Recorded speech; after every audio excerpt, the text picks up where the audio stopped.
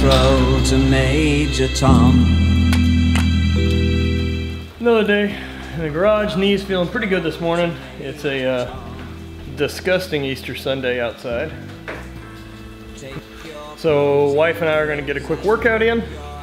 She's going to do some type of CrossFit circuit type action. And I'm going to chase a new three rep max on the squat. And uh, I think that's going to be excellent. So we'll get ready for that.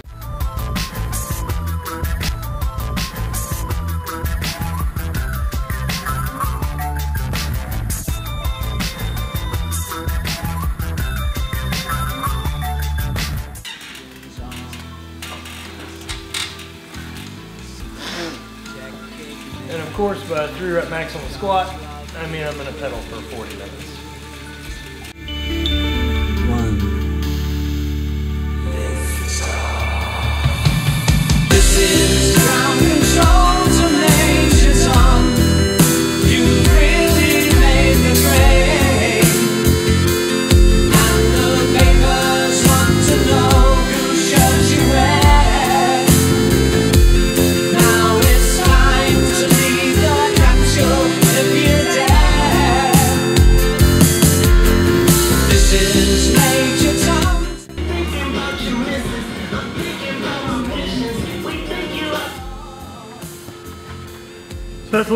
Cardio, a conditioning. Uh, family stuff today is Easter.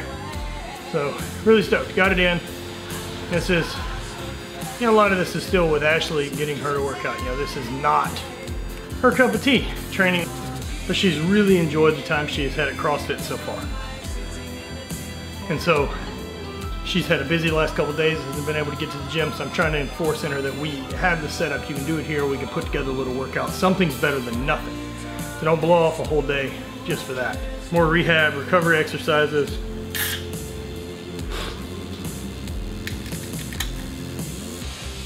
And that's it. It'll be a normal day. just family stuff. Uh, bring my Marc Pro and uh, slam the knee as much as I can. Still reading uh, Wool. I don't know, probably 75, 100 pages in. Pretty good so far. Uh, I really didn't read any synopsis on it other than Ashley put it on my desk and said to read it, so I'm reading it. All right, let's get it going. Probably not gonna have you guys attend Easter with me just because I don't feel like filming. So I hope you guys don't mind the way this is running, but some of these days are gonna be a couple days combined, just showing you what I'm doing rehab wise. I'm not doing anything terribly exciting, nor is there anything that comes up. Believe me, if something pops in my head and something I need to do happens, you guys will be shared with. Um, so hope a couple of these days being combined together doesn't fucking, it's whatever. There's no real rules to this. So hope you guys still enjoy the videos and um, I think we've got Drift a Lifta stuff coming soon. Like this week, this weekend, maybe tomorrow. And I got some really cool stuff in from Dan Bradley with uh, the Iron Union. These are dope, really dope hats and some shirts. Check them out. Uh, I will put a link below. Uh, another really, really cool apparel line. I think Dan and I are gonna do some work together in the future and do some designs for Hate Brand. Other than that, check out the new hats at Hate Brand Goods. I'll show you those. Got that patch hat. Ooh, ooh. A big black on black double pistols. My favorite. So good. And uh, the other one is just a script hat that we've been using black on black. You can never have too much black or color. Also, check out these. See these? I don't know how many of you guys are old enough for this. These are hypercolor shirts. So it's not just tie-dye watch. What? They change color based on heat. Just saying. Little limited on time this morning, so I'm gonna just run through some mobility stuff, and this afternoon I'll go ahead and hit my cardio and do my workout. More upper body stuff. So, gonna do some rehab uh, on that, and then right now this morning just gonna do some mobility. So join me for that, right?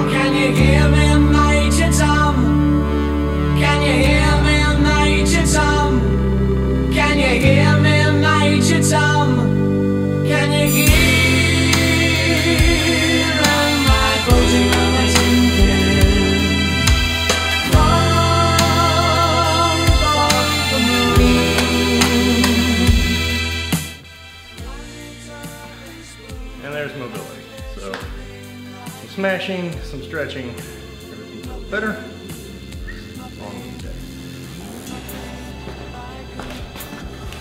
All right, so today's rehab, pedal, of course, which is still good fun. He's feeling all right, kind of double sleeving it, just keeping some compression on it. Not a whole hell of a lot of fun. And we're gonna do some seated overhead stuff. Boom.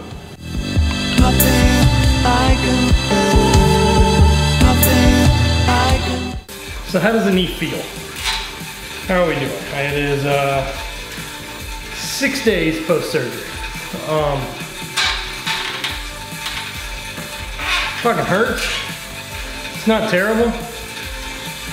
Uh, I was on it a lot today. Did not run the Marc Pro a lot. I've been on it a lot. So it's, it's really tired. Um, I really don't know how much I'll do this workout. I'm gonna do something. I'm gonna do my rehab and go from there. Uh, was on it a lot more today than I expected to be. And I had a full day tomorrow in the truck with meetings. So I'm gonna run the Marc Pro while driving just as much as possible and try to keep moving that way. It's just achy. And I mean, shit, there's still holes in my knee where the incisions are. So it's a week. It's a week out of six. But I mean, day to day are, are big changes. I mean, it's 5% or 10% better every day. I haven't had any pain medication in four days. I mean, other than like Tylenol. And uh, sleep's been okay. That's usually when it actually feels the worst. Last night was probably the best night of sleep I've had. Other than the one like right out of the hospital with all the drugs. That one's good. So, that's where I'm at. We'll go from there. I mean, do I think this is the fix for my knee? No. But if this can get me back to where I was pre-injuring it this run, I'll be good. If I can compete pain-free, I'll be good. I mean, my, my knee's still fucked. I still need an ACL. I still have got a lot of other shit to repair. But we'll get through get through all this. Synvisc injection is going to really help with just managing how the joint feels. I think it's like a fat injection. Helps with it's like a hyaluronic acid injection me. It's supposed to be great. Uh, PRP stuff, stem cells. I'm gonna give it all a go. I guess depending on how much it all costs. But I still need another surgery. So we'll see what type of life this thing gives me. And if, you know, we take a couple games and it's not any better and it's not strong and I can't throw, let's get cut. Let's move on to the next one. Try to rebuild and get ready for next year. But that's not the mindset I have. It's just one of those things that shit happens in the bigger picture issues, right? This isn't the fucking worst thing in the world. So, steady as she goes. We'll stay strong, keep making progress.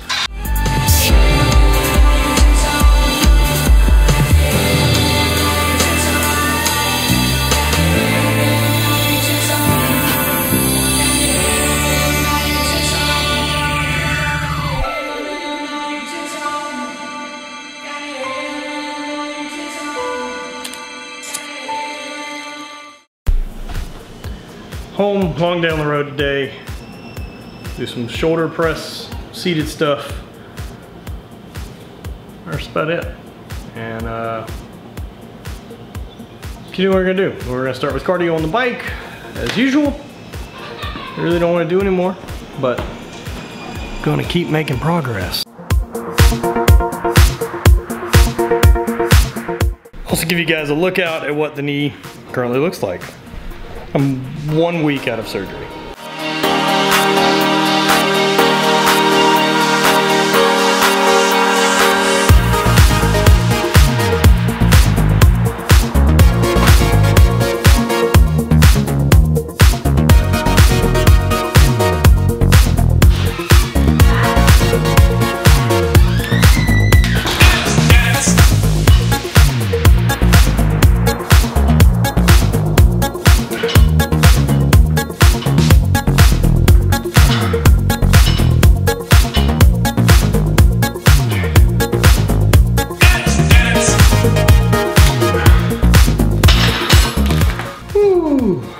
Time to shoulder press.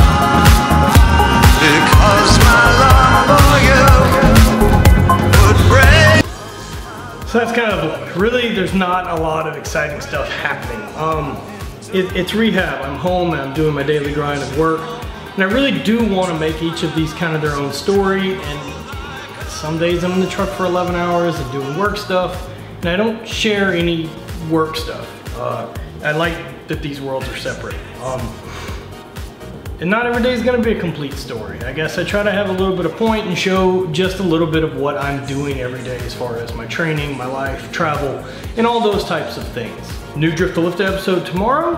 Hope you guys enjoyed both of these videos going up today. A little double time, am I right? And it's trying to stay positive through rehab, and I know I get a lot of this type of thing, and it's just keep making progress. Progress is really the big deal. Progress is just putting that one foot in front of another. Uh, you know, I think about this in kind of a really logical story. One of the guys we throw with, uh, Berger, uh, he's a South African dude, big dude, 6'7", over 320, did a ultra marathon, did this through the Namibian desert, 250 kilometer race. And one of the things he talked about was just as long as he could make another step, he would keep moving.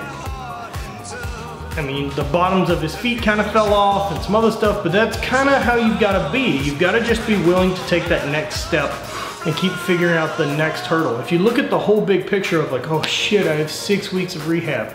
I'm only gonna be able to do this. I'm only gonna be able to do this. It's all these these negatives that you just fucking have to not worry about because they don't change. They don't fucking matter anyway. Just do what you can do and stay in control of that. So right now, what am I focusing on?